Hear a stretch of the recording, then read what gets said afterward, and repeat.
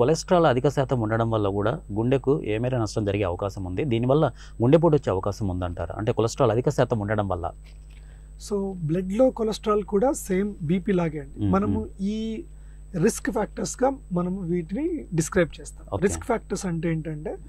Heart attack రావడానికి కారణాలు. Sugar కానివ్వండి బీపీ కానివ్వండి అధిక కొలెస్ట్రాల్ కానీ అధిక బరువు మ్మ్. మన అలవాట్లు ఆహారపు అలవాట్లు మ్మ్. లేదంటే స్మోకింగ్.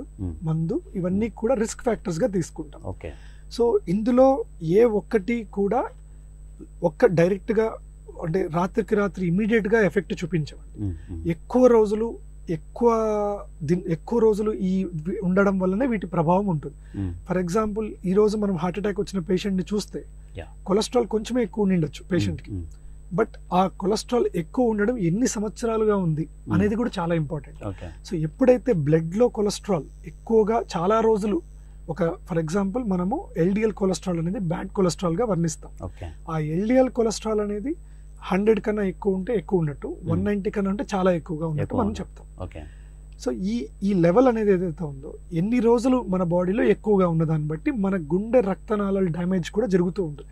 ఇప్పుడు ఫర్ ఎగ్జాంపుల్ బీపీ ఉంది ఇందాక Hmm. చెప్పాను బీపీ వల్ల గుండె రక్తనాళం డ్యామేజ్ అవుతూ ఉంది. అనుకుందాం మ్మ్. ఈ కొలెస్ట్రాల్ ఎక్కువ ఉండడం వల్ల అక్కడ పోయి డిపాజిట్ అవ్వడం అంటే కొల- Hmm. రక్తనాళాల్లో పోయి పూడికల్లాగా ఫామ్ అవుతూ ఉంటుంది సో ఇదొక్కటే కాకుండా వేరే అన్ని ఫ్యాక్టర్స్ కూడా కలిసి గుండెపోటుకు కారణమవుతూ ఉంటాయి సో అందుకే రక్తంలో కొలెస్ట్రాల్ కూడా తగ్గించడం కూడా చాలా ఇంపార్టెంట్.